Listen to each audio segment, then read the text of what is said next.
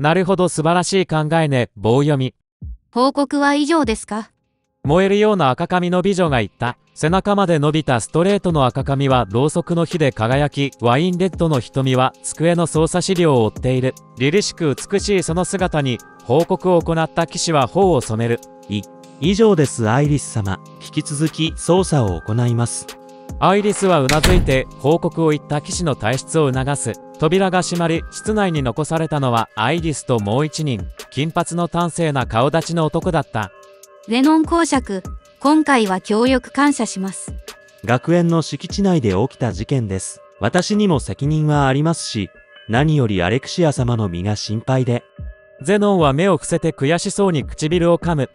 あなたには剣術指南役の仕事もあります。あなた個人の気を問う者はいないでしょう。今は誰が悪かったかではなく、アレクシアを無事救うことを考えましょう。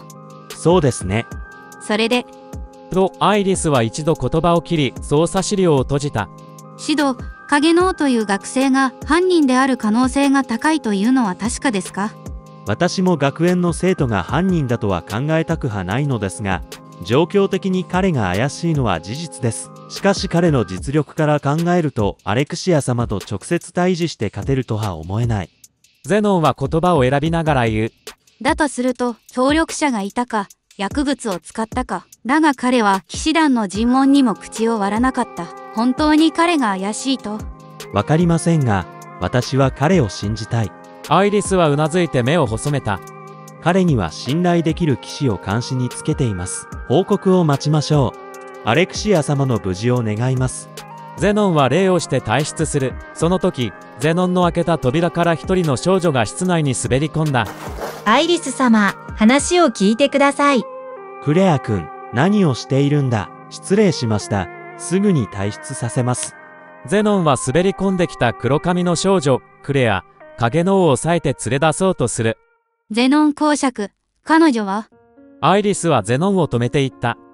彼女は、クレア、影の王、シド、影の王の姉です。クレア君、か、彼女は学園の成績優秀者で、現在騎士団に体験入団しています。そうですかいい、話を聞きましょう。ありがとうございます。クレア、影の尾はアイリスの前に進み出て懇願する。弟は、シドはアレクシア王女を誘拐するような子じゃありません。きっと何かの間違いです。騎士団は間違いが起こらないよう慎重に操作している。あなたの弟が犯人だと決まったわけではない。ですが、このまま真犯人が見つからなかったら処刑されるのは弟です。騎士団は慎重に操作している。間違いで処刑するようなことはない。ですが、クレア君、アイリスに必死で詰め寄るクレアをゼノンが止めた。もうやめたまえ。君の気持ちもわかるが、これ以上は騎士団に対する侮辱になる。く、クレアはゼノンを、そしてアイリスを睨みつけた。もし、あの子の身に何かあったら、クレア君、やめないか。クレアの言葉を遮って、ゼノンは強引に外に連れ出した。バタン、と、勢いよく閉められたら扉を見つめて、アイリスはため息を吐く。家族を思う気持ちは同じ。か、ポツリーとつぶやいた。アレクシア、無事でいて。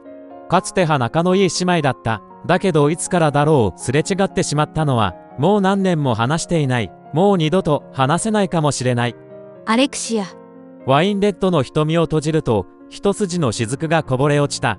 アレクシアが目を覚ますと、そこは薄暗い室内だった。窓はなく、ろうそく一本が唯一の灯り。壁は石造りで、頑丈そうな扉が正面にある。ここは、学園からの帰り道、ポチと別れてからの記憶がなかった。身体を動かすとガチャ、と金属のこすめる音が響いた。見ると、彼女の獅子は台座に固定されていた。魔風の高速具。魔力は寝れない。自力での脱出は困難だろう。一体誰が何の目的で連れ去ったのか。誘拐、脅迫、人身売買。一通り考えてみるが、確証は得られない。アレクシアに追い継承権はないが、傍女という立場にはそれなりの利用価値があることを彼女は知っている。が、今ある情報では答えは出そうにない。アレクシアは思考を止めて、ふと思った。ポチは無事だろうか。最近できた性格の悪い友人。アレクシアは物おじせず物を言う彼を気に入っていた。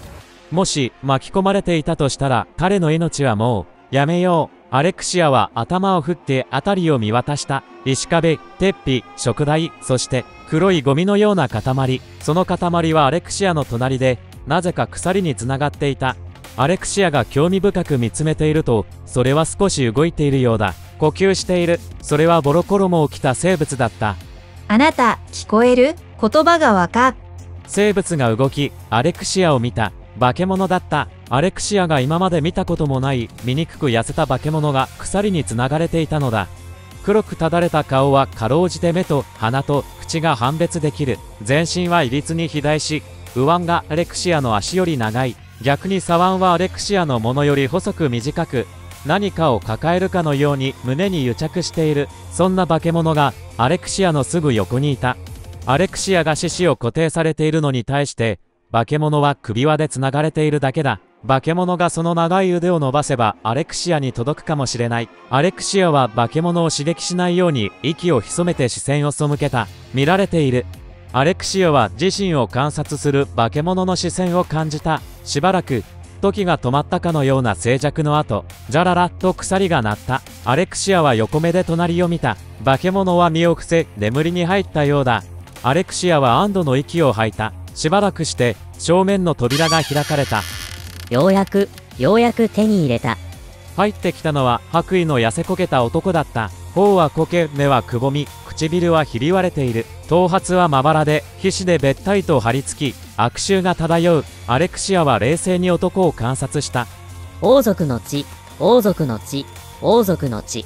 王族の血、白衣の男は連呼しながら細い針のついた装置を取り出す。血を抜かれるのだろう。アレクシアも白の石に何度か抜かれた経験がある。が、しかし、王女を誘拐してまで血を求める理由がわからない。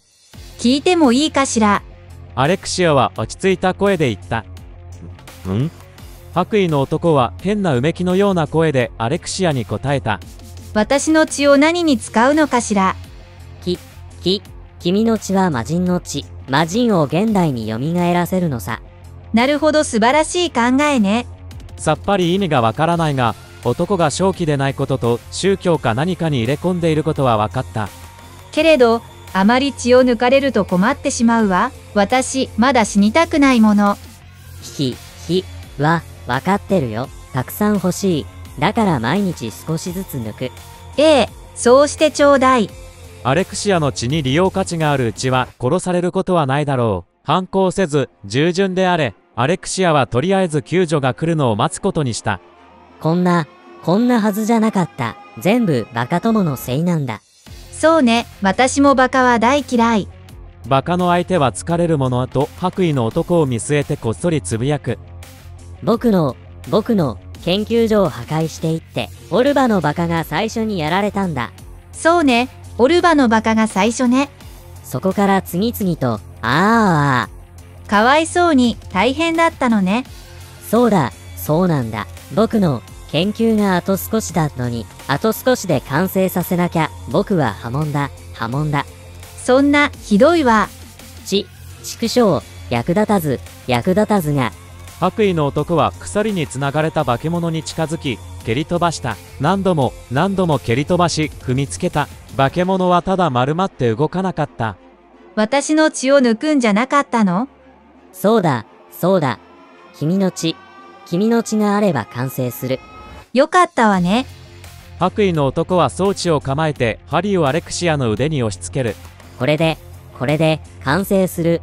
ぼ、僕は破門されない。痛くしないでね。殴りたくなるから、とアレクシアは心の中で付け加えた。針がアレクシアの腕に刺さった。赤い血がガラスの容器に満たされていくのをアレクシアは他人事のように見つめた。ひひ、ひひひ。